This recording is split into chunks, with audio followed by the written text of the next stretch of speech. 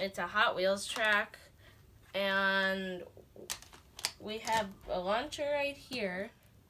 You have to press these down. You need to have just like the right length from this one to this one so then it can go on. This is usually on and that launches it through here. It will go up and then it will go off into this.